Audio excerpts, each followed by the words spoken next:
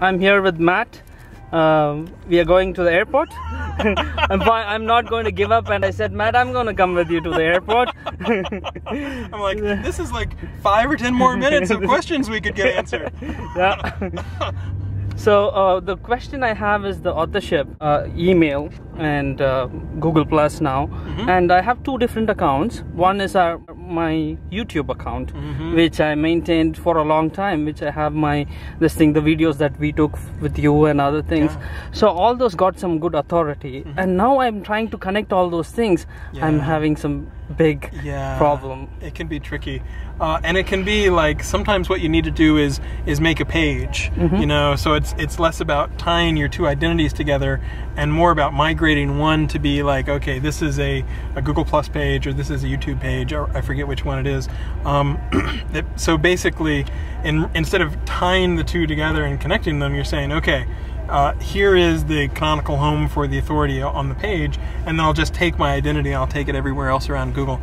It, it's kind of interesting because, you know, Google bought YouTube in 2006, Right, I think, and so uh, we've had a long time to, in theory, merge the identities.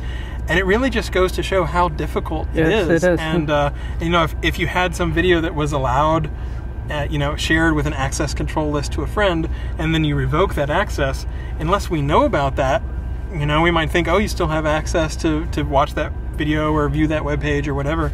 So it really does go to, to show how tricky identity is, and uh, and trying to get it right has taken a long time. I, I think they're doing much better now with Sure. YouTube, but I do sometimes hear those complaints where people are like, "Hey, I've got these two identities. I don't want to link them together. How- Yes. What's the best way to transition them?" And so I think we, we maybe we could do a little bit better about you know producing some specific documentation about that, like Right. what are the best practices, that sort of thing. So I did not connect. So I said, let me wait. You know, I'd have to wait because Yeah, yeah. yeah. That way, is at, at least it's safe because it's like you Right. haven't done anything. You have to worry about undoing or something like that. Um, over time, we hope to make it better, and you can even see that with like Google Plus for Gmail versus Google Apps. Yeah. So Mhm. it's it's kind of like if you started out on Gmail, but you really want to move to your Google Apps domain, you know, migrating your circles and all that sort of stuff, or or even it, could, for a long time was more difficult than it needed to be. And now we've got some some code that can do that. But even then, people are Yeah. always a little worried, like, am I going to lose some of my reputation if I transition and that sort of stuff. So I think. Uh, all the way up to the very top of the company, people realize that identity really matters, and trying to know who you are, uh, at least to the degree of knowing how reputable you are and how much what you say should be trusted, that matters as well. There's always debate about, you know, do we really need a real name, or you know, what is the right to have anonymity, and, and we do want to support, you know, an anonymous speech on the web if people want to do that as well.